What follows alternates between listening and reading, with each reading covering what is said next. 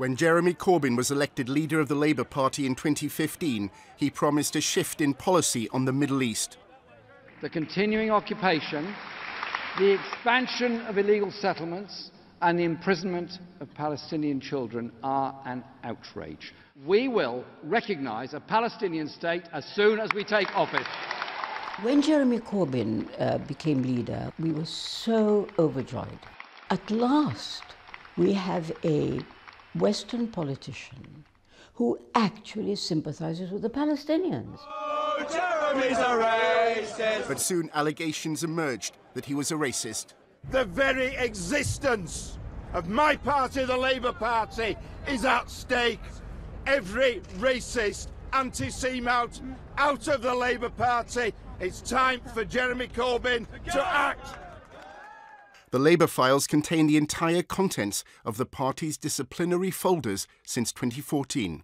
We can see real anti Semitism. But then there is also a lot of information in these disciplinary files where there is clearly no anti Semitism whatsoever.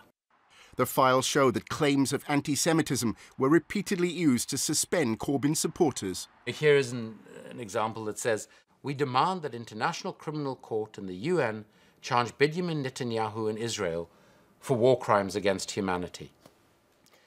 To suggest that this is somehow anti Semitic is simply trying to avoid Israel being called out for its appalling abuses in the occupied territories. For the first two and a half years of his leadership, it was the party general secretary who Corbyn inherited, Iain McNicol, who was ultimately in charge of dealing with anti Semitism cases. In 2018, Corbyn replaced McNicol with an ally, Jenny Formby. Analysis of the data in the files tells a remarkable story. This graph shows the number of suspensions, investigations and expulsions from the Labour Party on grounds of anti-Semitism all through the Corbyn era. And this is the moment when Jenny Formby becomes General Secretary of the Labour Party, enabling Jeremy Corbyn to take control of the bureaucracy of how Labour works.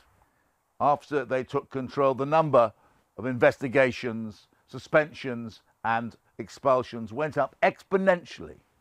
Under intense pressure, Corbyn then accepted a definition of anti Semitism that includes criticism of Israel. Pressure from pro Israel supporters continued until he was defeated in a general election in 2019. Soon after new leader Sir Keir Starmer takes over, his team meet with leading pro Israel groups in Britain. The files include minutes of the meeting, which included the Board of Deputies of British Jews. The Board of Deputies are keen to counter suppositions from Labour MPs that because they're nominally committed to combating anti Semitism, that it gives them carte blanche to say what they like about Israel. Steve Reed, a senior opposition minister, replies that the Labour Party will never accept attempts to exceptionalise and delegitimise Israel. Phil Rees, Al Jazeera, London.